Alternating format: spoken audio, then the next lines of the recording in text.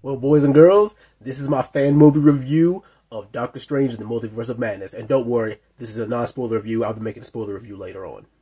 And boy, this movie deliver on the whole Multiverse of Madness concept. This is probably going to be one of the trippiest Marvel movies, if not movies you've ever seen, which is why I extremely advise you do not use any recreational drugs going to this movie. Don't use no shrooms, don't use no acid, don't use no, don't use no speedball, cocaine, don't use none of that. And I like the overall tone slash tones of this movie. It proves that you can push at PG-13 rating as far as you possibly can before you hit an R, and it also proves that you can incorporate horror movie elements into a superhero movie.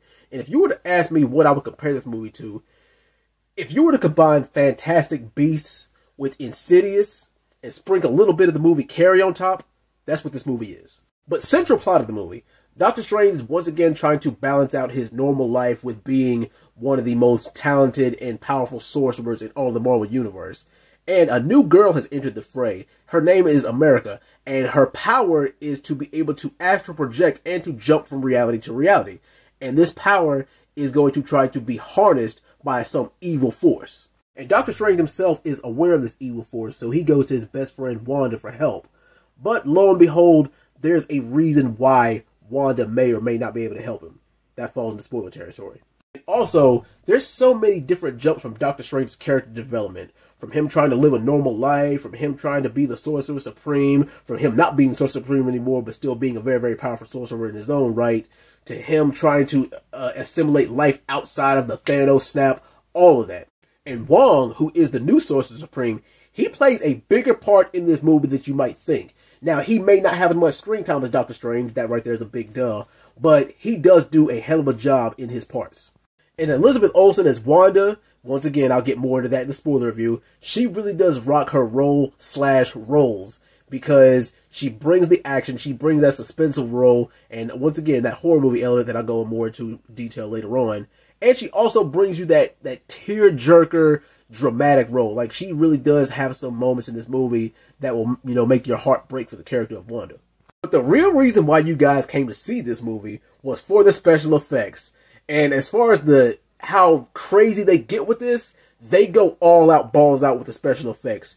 It will warp your mind. Like I said, I, I, advise you not to use any strong, hardcore drugs, but you will be pleased and satisfied, and sometimes your stomach may turn.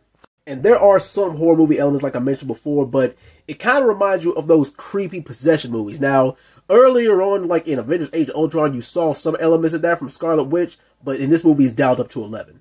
But that's pretty much all I could talk about without revealing the spoilers. But overall, I will give Doctor Strange the Multiverse of Madness an 8 out of 10. You guys tell me what you think. Spoiler review coming soon. Doctor Strange and the Multiverse of Madness fan spoiler review. I'm going to be doing heavy spoilers, so if you have not seen this movie yet, you have been warned. And I'm going to be talking fast because I only got two and a half minutes, so here we go.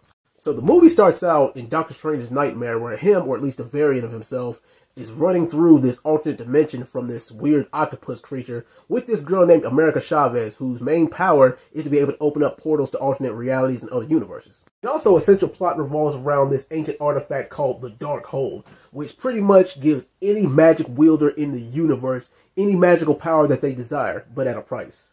And Doctor Strange from the other universe decides that there's no escape from this creature, so the only way that he can stand a chance against this creature's power is to take the girl's power for himself. But ultimately, he ends up dying before he can do that, and that's when America Chavez opens up the portal to Doctor Strange, our universe. And Doctor Strange reluctantly goes to his ex-lover's wedding, but it ultimately ends up getting crashed by that same octopus creature from before, and America Chavez. It's here that we learn that Doctor Strange's dream wasn't a dream at all. What happens in your dream happens in another reality. It's called dream walking a la Freddy Krueger. So Doctor Strange and Wong decide they're going to take America Chavez to Kamar Taj because that's the best place to protect her from the people who are trying to get her. And at the same time, Strange decides that he's going to go to Wanda for help because she's an expert with dark magic. It's also here that we learn Wanda, aka the Scarlet Witch, is the main antagonist because she knows about the alternate universe. She knows about America Chavez's powers, and she wants this power for herself, so she wants to live in her own reality with her children. So the Scarlet Witch launches a full-scale attack on Kamar Taj, and she pretty much just one-shots every single magical wielder there.